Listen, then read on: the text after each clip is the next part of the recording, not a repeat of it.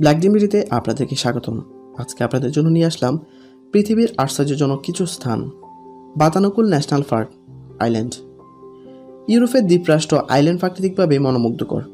বিশ্বের আশ্চর্যজনক স্থানগুলোর বেশ কয়েকটি রয়েছে এই দেশে। সেই সব স্থানের অন্যতম দেশটির বাতানুকুল ন্যাশনাল পার্ক। আলোকচিত্রীদের কাছে এটি একটি স্বপ্নের মতো জায়গা। সেখানে রয়েছে বিশ্বের বৃহৎ হিমবাহগুলোর একটি। এছাড়া রয়েছে অসংখ্য বরফের গুহা। দু হাজার আট সালে দেশটির দক্ষিণাঞ্চলের এই পার্কটিকে পর্যটকদের উপযোগী করে আইসল্যান্ড। এর সঙ্গে পার্শ্ববর্তী জোকলশাল, গজুফুর ও সাকাফায়ের ন্যাশনাল পার্ককে একসঙ্গে কেড়ে দেওয়া হয়। এটি ইউরোপের সবচেয়ে বড় পার্ক। বারো হাজার বর্গমাইল এলাকা জুড়ে বিস্তৃত।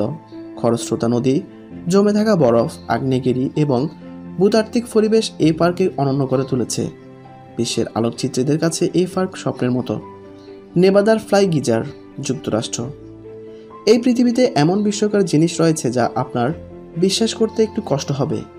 যুক্তরাষ্ট্রের নেবাদা রাজ্যের ওয়াসি হয়ে কাউন্টিতে অবস্থিত ফ্লাই গিজারটি ভূতাত্ত্বিকদের কাছে অন্যতম বিস্ময়। এই গিজারটি দৈর্ঘ্য পাঁচ ফুট এবং প্রস্থ বারো ফুট। চুয়াত্তর একর ভূমির উপর অবস্থিত গিজারটি গিজারটির রং বৈচিত্র্যপূর্ণ থার্মপলিক এলজি, যা রংধনুর মতো দেখতে। পাঁচ ফুট পর্যন্ত গরম পানি ছুড়ে দেয় গিজারটি যদিও এর সৃষ্টি অনিচ্ছাকৃতভাবে। উনিশশো সালের সেচ কাজের জন্য কুয়া খোঁড়ার পর দেখা যায়, বের হওয়া পানির তাপমাত্রা প্রায় দুশো ডিগ্রি। তাই এটি বন্ধ করে দেওয়া হয়। পরে উনিশশো চৌষট্টি সালে একটি কোম্পানি খনিজ অনুসন্ধানে জায়গাটিকে পুনঃখনন করেন। কিন্তু পানির তাপমাত্রা আগের মতোই পাওয়া যায়। অতএব আবার বন্ধ করে দেওয়া হয় মুখটি। হয়তোবা মুখটি ঠিকমতো আটকানো হয়নি, কারণ কিছুদিন পর এখান থেকে গরম পানি বের হওয়া শুরু হয়। এভাবে জন্ম হয় ফ্লাই গিজারের। ব্যক্তিগত মালিকানায় থাকায় এই গিজারের পানি থেকে তৈরি হয়েছে অসংখ্য ডোবা। রংধনু সাত রঙে সাজানো গিজারটি দেখে মনে হয় পৃথিবীর বাইরের কিছু। শ্যাওলার কারণে এর গায়ের রং হয়েছে সবুজ। আর পানির সঙ্গে ছুঁড়ে মারা খনিজ পদার্থগুলো অক্সিজেনের সঙ্গে বিক্রিয়া করে রংধনু সৃষ্টি করে। অ্যান্টিলোভ ক্যানিয়ন যুক্তরাষ্ট্র।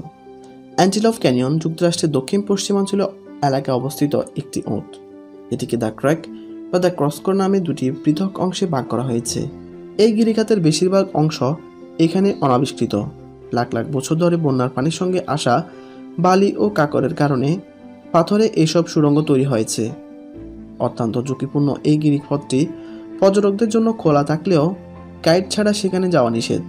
অভিজ্ঞ গাইডরা পর্যটকদের সাবধানে আবিষ্কৃত অংশ ঘুরে দেখায়। সমুদ্রে তারার মেলা, মালদ্বীপ। আকাশে তারা থাক বা না থাক, সমুদ্রের ফানিতে তারা মেলা, দেখতে পাওয়া অবিশ্বাস্য বটে।